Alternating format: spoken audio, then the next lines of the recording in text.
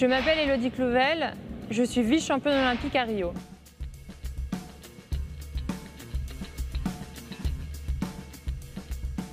Je vais vous présenter euh, un exercice de stretching. Donc en fait, c'est un exercice euh, d'étirement et de posture pour améliorer euh, sa souplesse et sa grandeur. C'est un étirement du psoas, du psoas iliaque. Donc c'est le psoas iliaque, ce qui rattache tous les muscles de la jambe et c'est un muscle aussi qui permet le relâchement du corps. Donc quand le, psoas est allongé et et je dirais euh, pas tendu et pas crispé, le corps se relâche. Tout part du psoas iliaque et c'est très important de, faire cet étirement euh, après la course à pied, après la natation.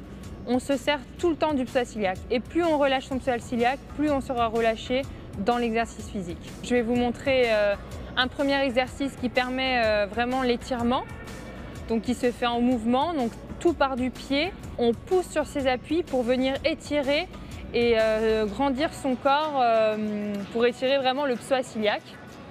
Et ensuite, l'exercice qui, prolonge le premier, c'est un exercice où la jambe est tendue. Donc euh, on reste toujours dans la même, posture, mais on tend la jambe pour se grandir vraiment et s'allonger. Donc ça sera un exercice d'allongement et d'étirement du psoas pour vraiment retrouver une grandeur de son corps parce que parfois euh, avec euh, le stress, euh, quand il fait froid, etc., on, a tendance à se rabaisser. Donc c'est un exercice pour se grandir et vraiment améliorer sa posture. Sur l'exercice, bien important de bien ancrer ses pieds, donc parce que tout va partir des appuis au sol. Ensuite, donc se lever avec des fesses bien contractées.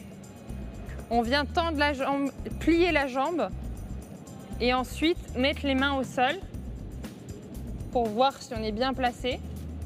On se relève et on vient pousser sur l'appui au sol pour étirer vraiment euh, le psoas. Donc voilà, on fait ça plusieurs fois pour venir étirer pleinement le psoas. On le fait trois fois et on change de jambe.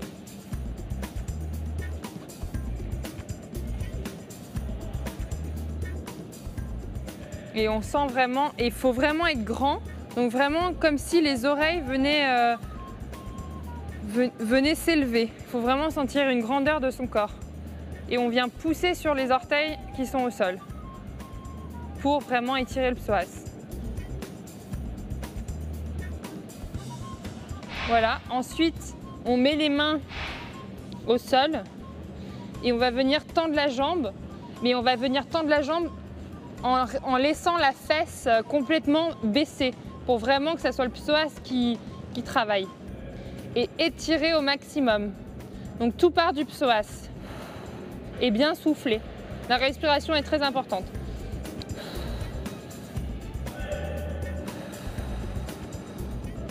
Voilà, trois fois de cette jambe. Et ensuite, pareil sur l'autre.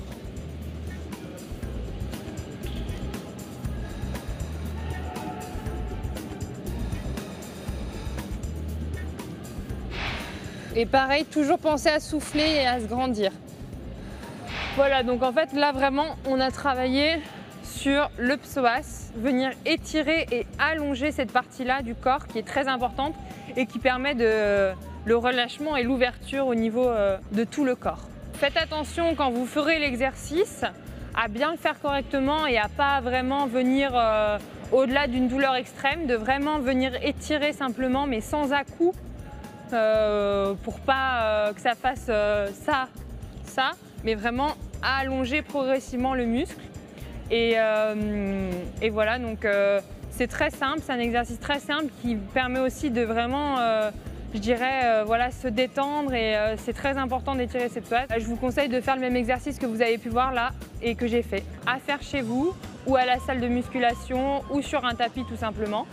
Et euh, voilà, donc si vous voulez être euh, un champion ou une championne, je vous conseille vraiment cet exercice qui est très très important.